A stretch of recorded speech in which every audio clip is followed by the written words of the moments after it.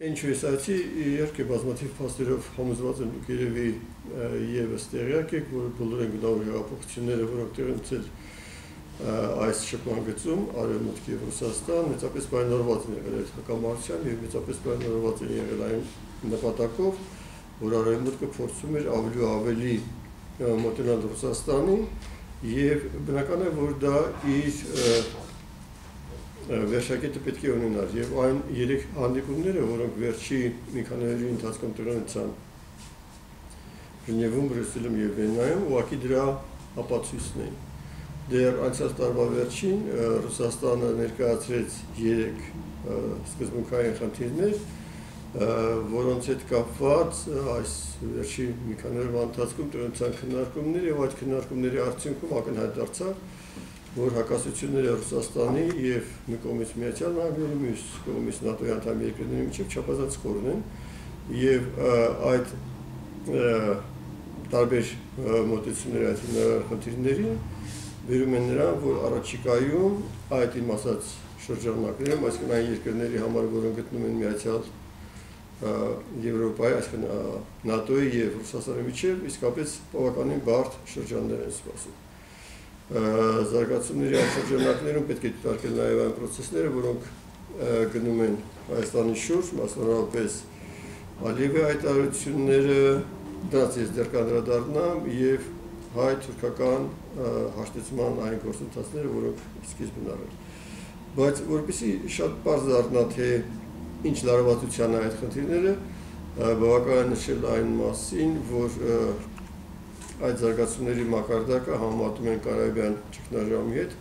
ճգնաժամ, որը շուրջ 60 տարի առաջ աշխարհին կանգնացրեց երրորդ համաշխարհային պատերազմի վտանգի առաջ եւ ուղղակի կարելի ասել շատ ճկուն քաղաքականության արդյունքում, որի մեջ շատերը կարևոր դեր են տալիս նաև Անաստաս Միկոյանին, հնարավոր եղավ կասեցնել այդ նեգատիվ զարգացումները։ Հենց երեք արդեն խոսում էր այն մասին, որ Ռուսաստանը այդ խնդիրները կարգավորելու համար քայլեր է կատարում, որպեսզի իր ռազմական տեխնիկան տեղադրի Կուբայում եւ Վենեսուելայում նախ պետք է ասել, որ ակնհայտ է, որ երբ Ռուսաստանը այս հայտարարությունները արեց, գործնականում ինքը համոզված է, որ այդ հայտարարությունների պատասխանը պետք է լինի նեգատիվ եւ ակնհայտ է, որ այդ ժամանակ ինքը արդեն պետք է այսպես կոչված պլան B ունենար եւ այդ պլան B-ն հենց այն է, ինչի մասին ես քիչ առաջ ասացի եւ այդ մասին առանց ցածնու խոսում են նաեւ Ռուսաստանի շատ վերլուծաբաններ, որ ռազմական տեխնիկայի տեղադրումը Միացյալ Նահանգների շրջապատում հստականներ են տալիս Վենեսուելայում եւ Կուբայում, այլ ընտրանք չունի այն իրավիճակին, որը ՆԱՏՕ-ն իրականացնում է մոտենալով դեպի Ռուսաստան։ Սա առնվազն սառը պատերազմ է, առնվազն սառը պատերազմ է, առնվազն սանկցիաներ են, առնվազն հարաբերությունների կտրուկ նվազեցում է, խոսքը գնում այն մասին, որ Միացյալ Նահանգները սանկցիաներ կկիրառի նաև Ռուսաստանի Դաշնության նախագահ Վլադիմիր Պուտինի նկատմամբ, իսկ արդեն Ռուսաստանից ասում են, որ դա նշանակում է մի բան, ուղղակի դիվանագիտական հարաբերությունների խզում Ռուսաստանի եւ Միացյալ Նահանգների միջև դրանից բխող բոլոր հետևանքներով։ Այս իսկապես բավականին բարդ նեգատիվ իրավիճակում է գտնվում այն ամբողջ տարածքը, որի մասին ես ասացի, Ռուսաստանի եւ Միացյալ ՆԱՏՕ-ի այդ նաև Հայաստանի, որովհետև Հայաստանի անմիջական հարևան ՆԱՏՕ-ի ամենաագրեսիվ երկրներից Թուրքիան է։ Թուրքիան, որը ՆԱՏՕ-ի երկրորդ ռազմական հզորություն ունեցող պետությունն է, հատկապես ցամաքային զորքերի առումով։ Եվ այդ տեսակետից մենք պետք է իրականության նայենք բավականին ցավ եւ անենք հետևությունները, որոնք կարող են մեզ զերծ պահել անասելի բարդ զարգացումներից։ Այս իրավիճակում իհարկե գնում է կոնսոլիդացիա, Ռուսաստանը իր դաշնակիցների կոնսոլիդացիան է իրականացնում եւ դրա փալյուն ապացույցը այն օպերացիաներ, որը ինքը իրականացրեց հապի շրջանակներում Ղազախստանում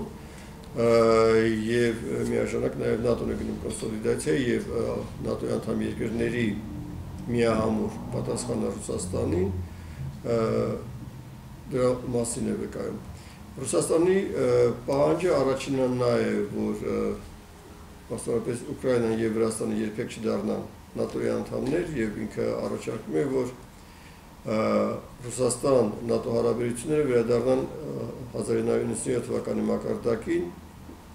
ՆԱՏՕ-ի անդամ երկրները կտրուկ մերժում են այս առաջարկը եւ պնդում են, որ եթե հանկարծ Ռուսաստանը փորձանի հարձակվել Ուկրաինայի վրա, ապա անասելի սանկցիաներ կլինեն։ Բնականաբար Ռուսաստանը ասում է, որ այդպիսի մտադրություն ինքը չունի, բայց մի բան ակնհայտ է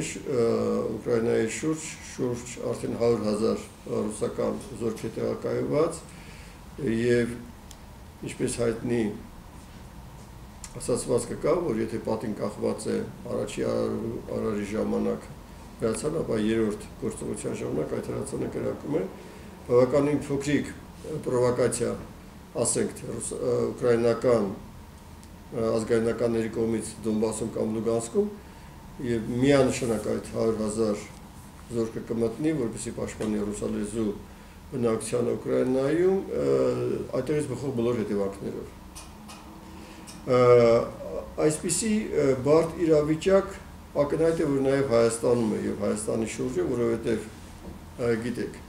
ՆԱՏՕ-ի անդամ Թուրքիան չափազանց կարևոր է ՆԱՏՕ-ի համար, որովհետեւ ես արդեն ասեցի, մեկ անգամ էլ ուզում կրկնեմ,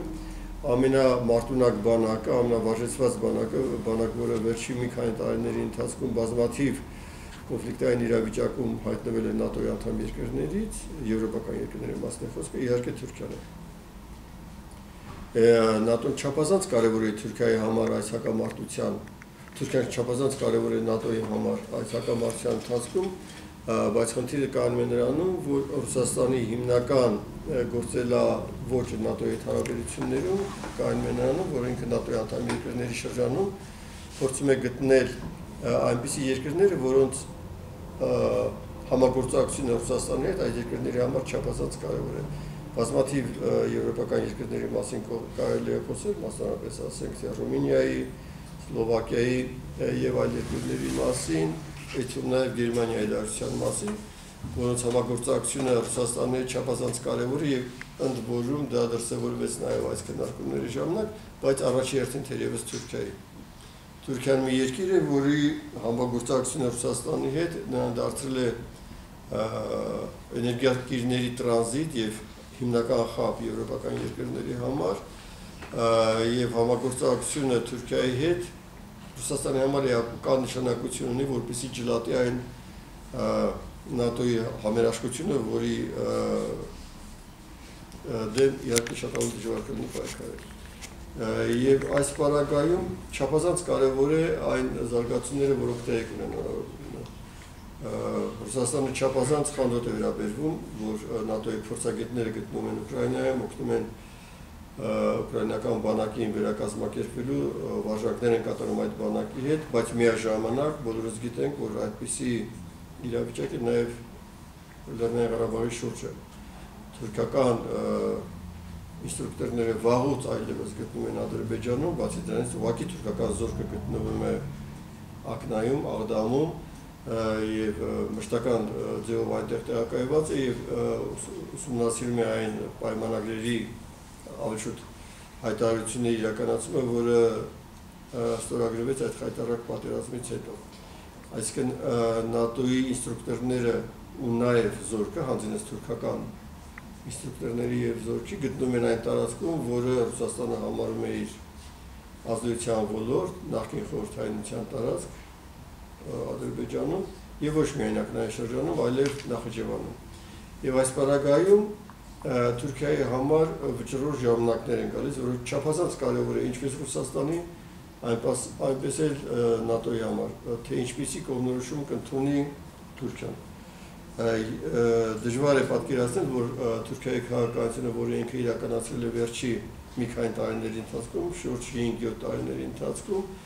այսինքն լինել ՆԱՏՕ-ի անդամ երկիր եւ չափազանց լուրջ համագործակցություն ունենալ Ռուսաստանի հետ հնարավոր կլինի շարունակել։ Երբ ես խոսում եմ այդ համագործակցության մասին, խոսքը միայն տնտեսական համագործակցության մասին չի, խոսքը հենց ռազմական համագործակցության մասին է, որովհետև Թուրքիան ի հակադրություն ՆԱՏՕ-ի անդամ երկրների համատեղ որոշման գնում է ռուսական ռազմական տեխնիկա, որը անպատկերացնելի է ՆԱՏՕ-ի անդամ որևէ այլ երկրի պարագայում։ Սա եւս մի բանի մասն է խոսում, որ ներվում է ՆԱՏՕ-ի կողմից, ներվել է ՆԱՏՕ-ի կողմից Թուրքիային բաներ, որը որևէ այլ երկրին չի ներվել։ Եվ այս տեսակետից ՆԱՏՕ ՆԱՏՕ-ի վերաբերմունքը առավել քան խիստ պետք է լինի այս ընդգծված բարդ իրավիճակում Թուրքիայի նկատմամբ այդպեսին պետք է լինի նաև Ռուսաստանի դիրքորոշումը եւ շատ բան կախված է նրանից թե Թուրքիան ինչպեսի որոշում կայացնի իր համար, որովհետեւ ակնհայտ է որ այս ընդգծված բարդ իրավիճակում եւ եւի քաղաքականությունը որը տարիներ շարունակ օգտագործում էր Թուրքիան եւ շահում էր երկու կողմից էլ դժվար կլինի շարունակել։ Այս առումով չափազանց կարևորվում է Հայաստանի կողմից վարվող քաղաքականություն, եթե նա լիներ այնպեսին, ինչպեսին նա ասենք թե 4-5 տարի առաջ էր ունար հզոր տարածաշրջանային նշանակություն կարողանար իր տնտեսական ու նաև ռազմական դերակատարության պետական նշանակությունն տարածաշրջանի զարգացումների համար բոլորին այլ վիճակում էր։ Սակայն այս խայտարակ պատերազմից հետո, երբ Հայաստանը կորցրել է իր սուբյեկտայնությունը, չափազանց վտանգավոր է շարունակել բանակցությունները Թուրքիայի հետ, որովհետև ակնհայտ է, որ այս հարաբերությունների ժամանակ Թուրքիային շատ բան կներվի, եթե նա ասենք թե կողնորոշվի դեպի Ռուսաստանը եւ նույնը կարելի ասել նաեւ Ադրբեջանի համար։ Մի բան ակնհայտ է, որ վերջի զարգացումները հայ-ադրբեջանական ոլորտում կարելի ասել հիստերիկ հայտարարությունները, որը անում է Էրդողանը, ուղակի բխում է այն հանգամանքից, որ եւ Թուրքիայում եւ Ադրբեջանում հասկանում են, որ այն ժամանակը, որը տրված էր նրանց այդ խայտարակ հայկական կողմի պարտությունից հետո մոտենում է իր ավարտին, որտեղ գալիս է մի նոր փուլ, որտեղ նրանց դիրքորոշումները պետք է պայմանավորված են արդեն ոչ այնքան այդ պատերազմի արդյունքում կրած հաղթանակի հետևանքով, այլ նոր աշխարհակական իրավիճակով։ Եվ նրանք չափազանց քիչ ժամանակ ունեն։ Եվ այդ է պատճառը, որ նրանք փորձում են այդ համաձայնագրերը մի կողմից հայ-թուրքական, մյուս կողմից ադրբեջանական, որքան հնարավոր է արագ կյանքի կոչել, որպեսզի նրա վրա լինի ընդհանրին այդ խայտարակ, մեր կողմից խայտարակ պատերազմի պարտության կնիքը եւ այդ համաձայնագրերի վրա որևէ կերպ չազդի այն զարգացումները, որոնց մասին ես արդեն ասեցի։ Այստեղ ներքաղաքական զարգացումների տեսակետից եթե մենք խոսենք, ապա ակնհայտ է մի բան։ Ինչպես մենք ասում ենք պատերազմից առաջ 18 թվականից սկսած, պատերազմի ժամանակ, պատերազմից հետո այս կապիտուլյանտ իշխանության յուրաքանչյուր օրը մեր պետության ղեկավարության կարգավիճակով աղետ է։ Աղետ է եղել է այդպիսի աղետ պատերազմից առաջ, պատերազմի ժամանակ, պատերազմից հետո եւ հիմա էլ շարունակվում է։ Ընդ որում հիմա դա ավելի ակնառու է դառնալու, որովհետեւ այս ցայտնոտային իրավիճակում պետք է չափազանց լուրջ, չափազանց վստահելի եւ չափազանց հերանեկարային պետություն ղեկավարող քաղաքական ուժ, իսկ այս քաղաքական ուժը ապացուցել է, որ ինքը ամեն ինչը բացի պետություն ղեկավարող ուժից, ինքը համաձայնողական մի կառավարություն է դարձել այս պատերազմից հետո, որը համաձայնում է բոլոր կողմից ներկայացող պահանջներին։ Ռուսաստանից կլինի պահանջը, Թուրքիայից, Ադրբեջանից, ցանկացած առաջարկությանը այո է ասվում, անկախ նրանից, թե ինչ հետևանքներ կունենա պետության համար։ Իրենց նպատակը մեկն է, որքան հնարավոր է, գոնե մեկ օրով ավելի մնալ իշխանությանը, որովհետև իրենք գիտեն, որ այն ավերածությունների համար, որոնք իրան իրականացրել են ազգի եւ պետության գլխին, իրանք պատասխան են տալու։ Պատասխան են տալու օրենքի ոչ խստությամբ եւ այստեղ գործում է շատ բնական անասնական վախի զգացումը։ Իսկ առողջ քաղաքական ուժերի համար սա լուրջ մարտահրավեր է, որտեղ եթե առաջ մի քանի ամսվա ուշացումը այդ դավաճաներին վռնդելու կարող է ռեական նշանակություն չունենալ, հիմա խնդիրը գնում է շապատների հաշվարկով։ Սա է այն իրողությունը, որում մենք գտնվում ենք եւ ես կարծում եմ, որ բոլոր առողջ ուժերը, բոլոր քաղաքական ուժերը պետք է մի կողմ դնեն իրենց բոլոր հակասությունները, բոլոր բնակավարներում եւ լծվեն մեկ գործի՝ ազատել հանրապետությունը այս դավաճանների իշխանությունից։ Պարոն Մինասյան, կուզեի անդրադառնայիք նաև Բաքվի բռնապետի վերջին հայտարարություններին, ասուլիսում հնչեցրած, մասնավորապես ՀՀԿ Մինսկի խմբի շրջանակներին ուղված իր անդրադարձին եւ նաեւ երկրորդ եւ երրորդ նախագահներին տված որակումներին, հաջորդած այն վախերին, թե ամեն պահի պետք է սпасել հարվածի։ Ինչ եք կարծում իշխանապողությունից հետո այդ հարվածի ականատեսը կլինենք։ Շատ շնորհակալություն ձեր հարցի համար։ Տեսեք, ձեր հարցի մեջ կային այն բոլոր շերտերը, որոնց մասին մենք քիչ առաջ խոսեցինք, իսկապես երևում է, որ ինչպես եք ասում, Բաքվի բռնապետը բար, չափազանց շտապում է եւ այդ շտապելը բնական է, որովհետեւ գալիս են նոր իրողություններ եւ այդ իրողությունների ժամանակ այն հին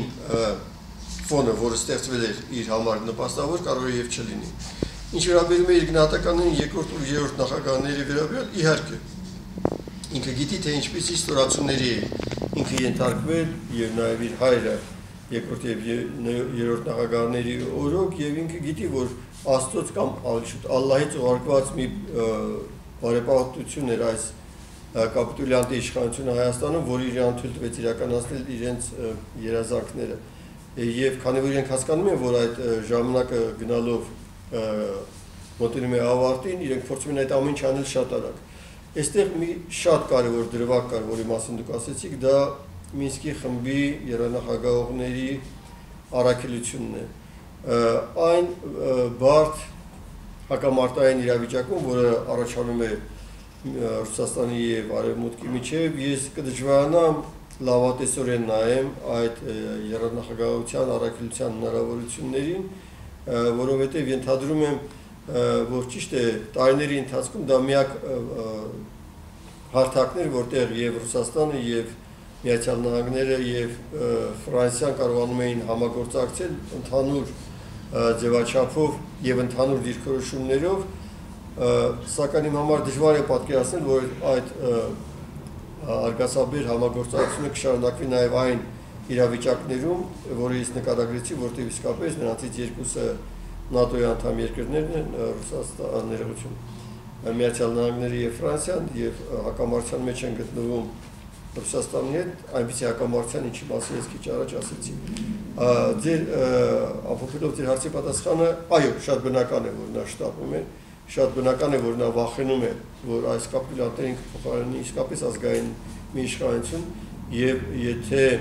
այդպիսի բան տեղ ունենա եւ այդ իշխանությունը նոր եկած իշխանությունը կարողանա ճիշտ կողմնորոշվել այս բավականին բարդ իրավիճակում, ապա թերևս հնարավոր կլինի կամած-կամած վերականգնել այն դիրքերը, որը մենք ունեցել ենք։ Ես ավելի հստակ չեմ ուզում որևէ բան ասեմ, այդպիսի ձևակերպումով էլ եկեք համակերպվենք այս ձևակերպումը, կամած-կամած վերակերպ վերադարձնել այն բոլոր կորուստները, որ մենք ունեցել